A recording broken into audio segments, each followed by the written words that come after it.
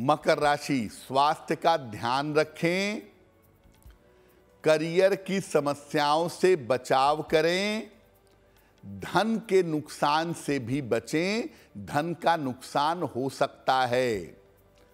किसी निर्धन व्यक्ति को अगर हरे फल का दान कर दें तो दिन की मुश्किलें बहुत हद तक कम हो जाएँगी। शुभ रंग होगा आसमानी